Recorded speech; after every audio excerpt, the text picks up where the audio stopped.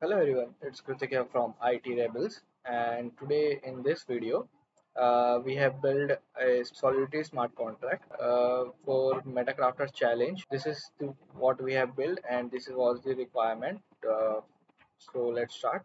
First of all, we have created uh, uh, this uh, smart contract with MIT license.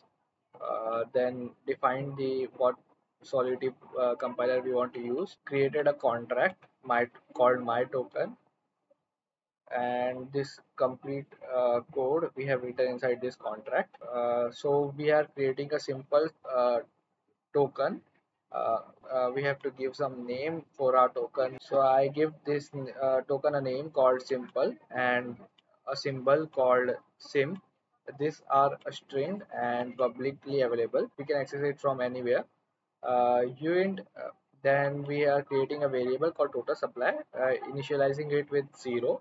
And it is a public and the variable type is unit unsigned integer. We will add all the uh, tokens here. Next we are creating a mapping of variable called balances which will be consist of uh, address to in unsigned integer. So let uh, so it will contain uh, addresses of ethereum addresses externally owned account addresses and value of ether value of token that this address will contain. So uh, then we have created two functions called burn and mint. Burn and mint which takes two parameters called addresses and value.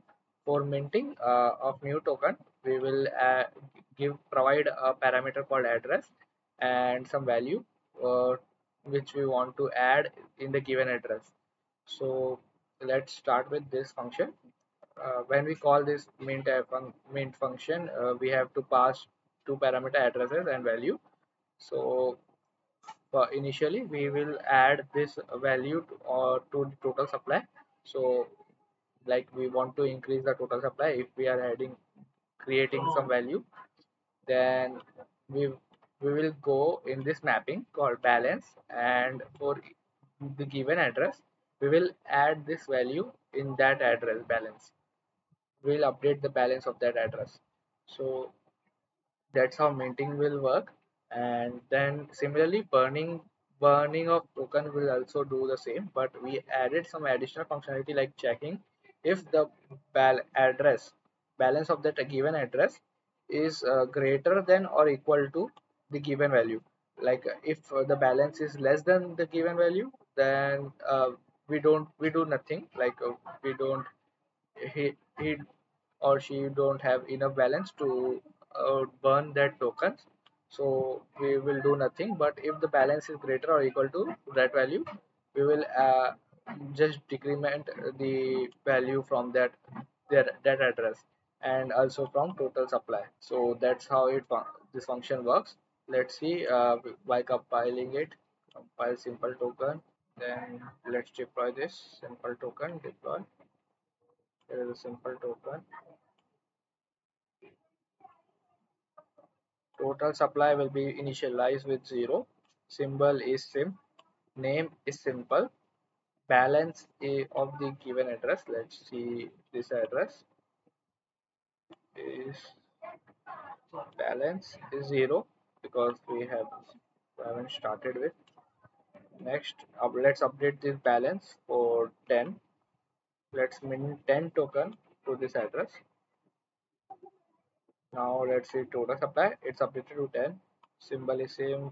Balance of this address is 10 uh, let's burn some token. 5 transact let's see.